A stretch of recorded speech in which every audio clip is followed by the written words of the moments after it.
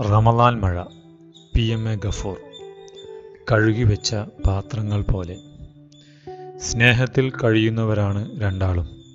എന്നിട്ടും ചെറിയൊരു കാര്യത്തിന് വഴക്കിട്ടു. വാക്കുകൾ ഒരുപാട് അധികമായി പുലരും വരെ പിണങ്ങിക്കിടന്നു വിങ്ങിയ മുഖത്തോടെയാണെങ്കിലും അവൾ രാവിലെ ഭക്ഷണം ഒരുക്കി രണ്ടാളും പിണക്കം വിടുന്നില്ല. ഭക്ഷണം കഴിക്കാൻ മോളാണ് വന്ന് വിളിച്ചത്.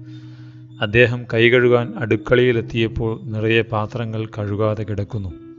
ചായപാത്രവും കറിക്കലവുമെല്ലാം പരന്നു കിടക്കുകയാണ്. ഒട്ടും രസമില്ലാത്ത കാഴ്ചയാണത്. എന്നാലും സാരില്ല. അയാളുടെ മനസ്സിൽ കനിവ് പൊടിഞ്ഞു. അവളുടെ മനസ്സിന്റെ വിഷമം കൊണ്ടായിരിക്കാം ഒന്നും കഴുകാൻ തോന്നിയിട്ടുണ്ടാവില്ല. എന്നിട്ടും അവൾ ഭക്ഷണമൊക്കെ ഒരുക്കിയില്ലേ? ഓരോ പാത്രങ്ങളും അദ്ദേഹം കഴുകി വെച്ചു. അടുക്കള തുടച്ച് വൃത്തിയാക്കുന്നത് കണ്ടാണ് അവൾ അങ്ങോട്ട് വന്നത്. ഒരു നിമിഷം മുഖാമുഖം നോക്കി രണ്ടാളും പുഞ്ചിരിച്ചു. സാരല്ലടോ എന്റെ വാക്കുകൾ ഇന്നലെ വല്ലാതെ വേദനിപ്പിച്ചല്ലേ? ക്ഷമിക്കൂ. ഏയ് അല്ല ഞാൻ അങ്ങനൊന്നും പറഞ്ഞത് ശരിയായില്ല. തെളിഞ്ഞൊരാകാശമായി അവൾ പിന്നിലൂടെ കെട്ടിപ്പിടിച്ചു. പ്രിയപ്പെട്ടവളെ തലോടിയപ്പോൾ അയാളുടെ മുഖവും വിങ്ങി. പിണക്കത്തിന്റെ അഴുക്ക് രണ്ടാളും ഒരുമിച്ച് കഴുകിക്കളഞ്ഞു. അവരുടെ സ്നേഹം കഴുകിവെച്ച പാത്രങ്ങൾ പോലെ തിളങ്ങി. രണ്ട് ചങ്ങാതിമാരുടെ കഥ കേട്ടിട്ടില്ലേ? രണ്ടാളും ഒരുമിച്ചുറങ്ങുമ്പോൾ ഒരാൾക്ക് പാട്ട് കേൾക്കണം. പാട്ടുകൾ അവന് ജീവനാണ്. പക്ഷേ മറ്റേയാൾക്കത് കേൾക്കുന്നതേ ഇഷ്ടമല്ല. ഒരു രാത്രിയിൽ പാട്ട് കേട്ടുറങ്ങുന്ന ചങ്ങാതിയെ അയാൾ ഷൂ കൊണ്ടെറിഞ്ഞു. ഏറു കിട്ടിയിട്ടും അവൻ പ്രതികരിച്ചില്ല. ദേഷ്യം മൂത്ത് രണ്ടാമത്തേതും എറിഞ്ഞു. അപ്പോഴുമില്ല പ്രതികരണം.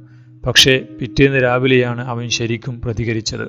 രണ്ട് ഷൂസും നന്നായി പോളിഷ് ചെയ്ത് ചങ്ങാതിക്ക് കൊടുത്തു. ആ സ്നേഹ കൈനീട്ടത്തിനു മുന്നിൽ മൗനിയായി പുഞ്ചിരിക്കാനേ അയാൾക്ക് കഴിഞ്ഞുള്ളൂ. ജീവിതത്തെയും ബന്ധങ്ങളെയും അലങ്കരിക്കേണ്ടത് കരുണയുടെ കരുതലോടെയാണ്.